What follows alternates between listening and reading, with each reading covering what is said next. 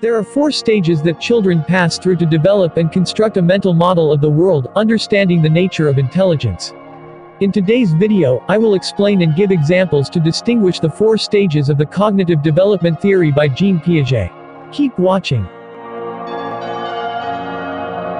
The sequence of these stages are universal across cultures and follow the same unchanging order, although not all at the same rate.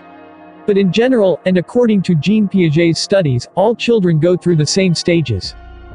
As a developer of the French version intelligence test, Piaget was intrigued with the incorrect answers children gave to questions. He believes that this revealed the unique way of how children think. Piaget was the first one to identify that children think differently from the way adults think. Children actively build their knowledge rather than waiting for someone to fill their heads with knowledge. He proposed that intelligence develops and grows through a series of stages from infancy to adolescence.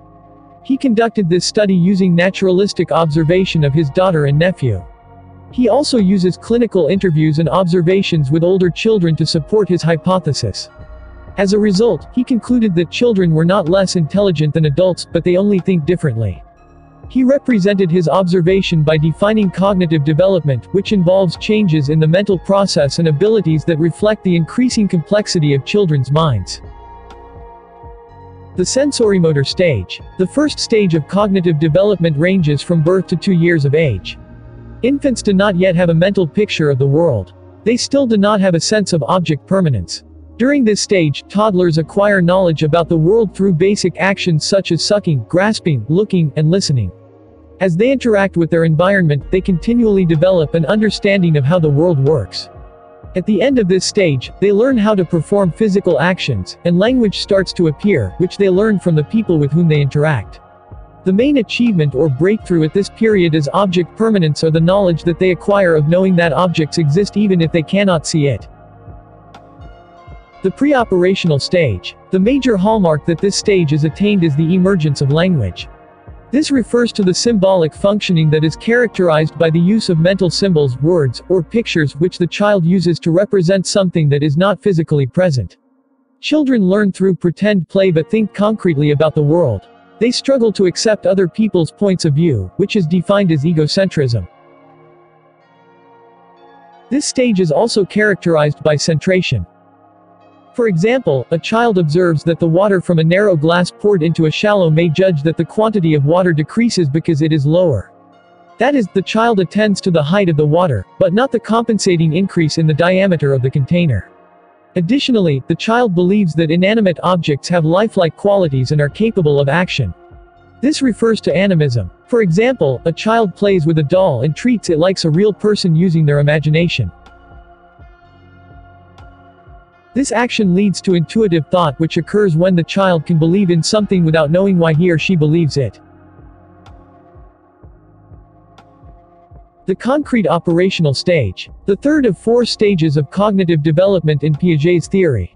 This stage, which follows the pre-operational stage, occurs between the ages of 7 and 11 years and is characterized by the appropriate use of logic. During this stage, important processes are involved. First is seriation. It is the ability to arrange objects in an order according to size, shape, or any other characteristic. For example, if given different shaded objects they may make a color gradient.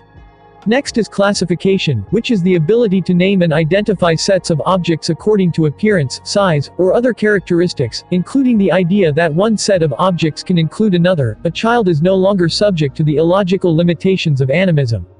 Then, next is decentering, where the child takes into account multiple aspects of a problem to solve it. For example, the child will no longer perceive an exceptionally wide but short cup to contain less than a normally wide, taller. Next, reversibility, where the child understands that numbers or objects can be changed, then returned to their original state. For this reason, a child will be able to rapidly determine that if 4 plus 4 equals 8, 8 divided by 4 is equal to 4, the original quantity. Next is conservation, or the understanding that quantity, length, or the number of items is unrelated to the arrangement or appearance of the object or items. For instance, when a child is presented with two equally sized, full cups they will be able to discern that if the water is transferred to a pitcher it will conserve the quantity and be equal to the other filled up. Lastly, the elimination of egocentrism is the ability to view things from another's perspective. Kids in the concrete operational stage also begin to understand that their thoughts are unique to them and that not everyone else necessarily shares their thoughts, feelings, and opinions. The formal operational stage. The formal operational period is the final stage of cognitive development theory. This stage, which follows the concrete operational stage, commences at around 11 years of age or puberty and continues into adulthood. It is characterized by the acquisition of the ability to think abstractly, reason logically, and conclude from the information available. At this point, people become capable of seeing multiple potential solutions to problems and think more scientifically about the world around them.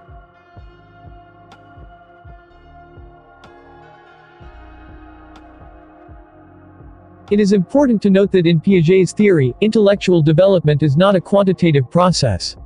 That is, children do not add more information and knowledge to their existing knowledge as they get older. Instead, Piaget views this development as qualitative changes of how children think as they process through these four stages.